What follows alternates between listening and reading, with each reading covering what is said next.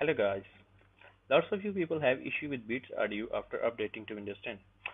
I'm also using Windows 10 on my HP laptop with Beats Audio and my Beats Audio also gone after updating to Windows 10. And it's almost an year now I'm finding the solution. And the good news is I found out now and my Beats Audio is working perfectly. So I'm going to show you how to get your Beats Audio back in Windows 10. Let's start it open the device manager.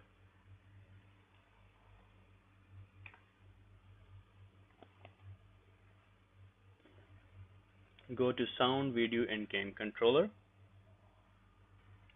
Select IDT high definition audio sound.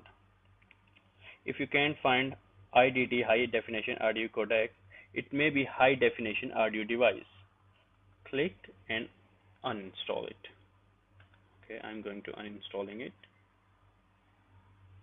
uninstalling successfully uninstalled. So close the device manager. Now you need a setup file name sp59542 you need to download it from the HP website as I have already downloaded it.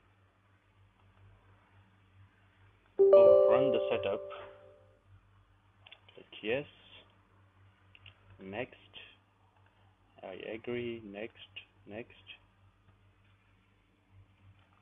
Yes to all.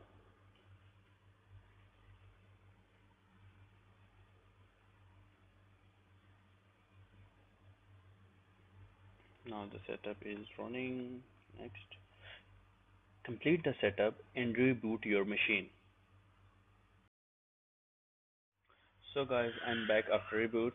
Now let's check the drivers of IDT audio codec. Open your device manager.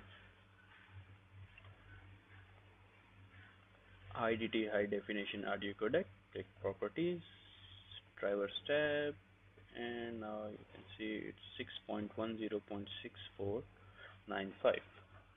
click OK. Open the Beats audio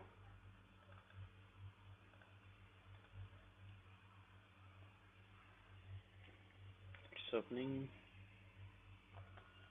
open the listening experience. Check Beats audio and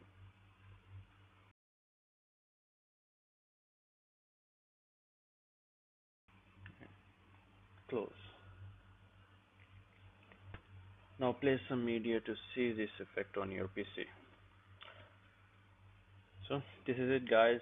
Hope it will work for you too if you find my video helpful, please like and share my video and subscribe my channel for more videos.